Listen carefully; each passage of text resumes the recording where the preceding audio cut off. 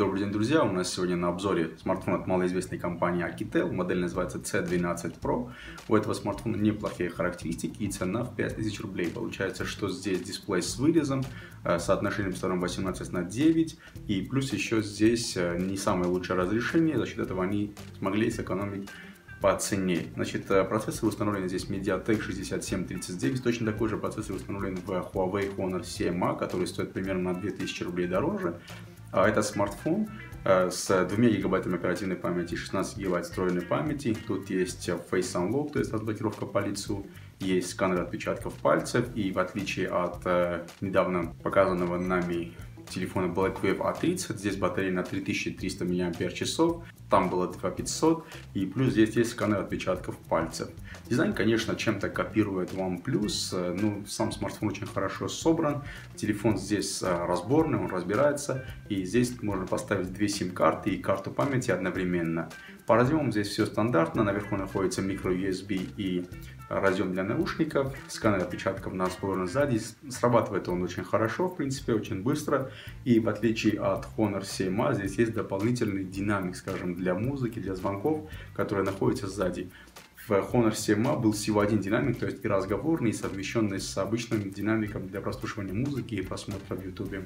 А за такие деньги в российской рознице мало что можно купить, и у людей большинства, то есть есть люди, которые вот такими телефонами ходят на руках, то есть это, это будет телефон неплохой заменой таким телефоном. Э, по характеристикам здесь, в принципе, все нормально работает, то есть это чисто Android на 8.1, и сам смартфон работает, то есть без каких-то моментов, то есть там бывает, что клавиатуру какую-то левую устанавливают, какие-то дополнительные сервисы, здесь ничего подобного нет. Клавиатура от Гугла, а расположение кнопок можно поменять, то, что я уже сделал, поменял на нормальное расположение, как у, скажем, Samsung. И здесь все сервисы от э, Google. По камерам здесь я хочу сказать то, что чудо ждать не стоит. Смартфоны за такую цену показывают примерно одинаковый результат, хотя качеством фотографий в обычный солнечный день я остался доволен. Селфи-камера тоже довольно неплохого качества и видео пишет в формате Full HD. Запись видео, проверка звука. Пишем на встроенный микрофон, съемка против солнца.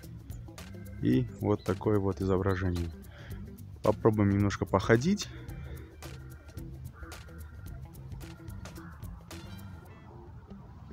Принципе, фотографиями я остался доволен, потому что за эту цену, я думаю, что ничего подобного невозможно купить, ничего лучше.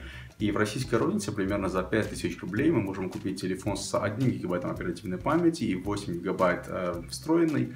И там, конечно, речь никакая не идет о сканере отпечатка пальцев и тем более разблокировке по лицу.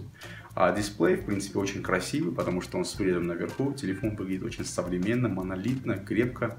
Не то, чтобы я перехвалил этот телефон, но на самом деле я остался им очень доволен, потому что за 5000 рублей ожидаешь обычно телефон не самой лучшей сборки, а, а тут все оказалось на довольно хорошем уровне, и плюс аккумулятор 3300 мАч, в принципе он работает весь день. Из приятных бонусов отметьте то, что уже на экране была приклеена пленка, об этом не нужно нам дополнительно заботиться, и был чехол в комплекте. Чехол хорошего качества, прозрачный обычный силиконовый чехол, это хорошо, что производители стали, то есть сейчас сложить в комплекте чехол, потому что чехол на такой телефон найти будет непросто.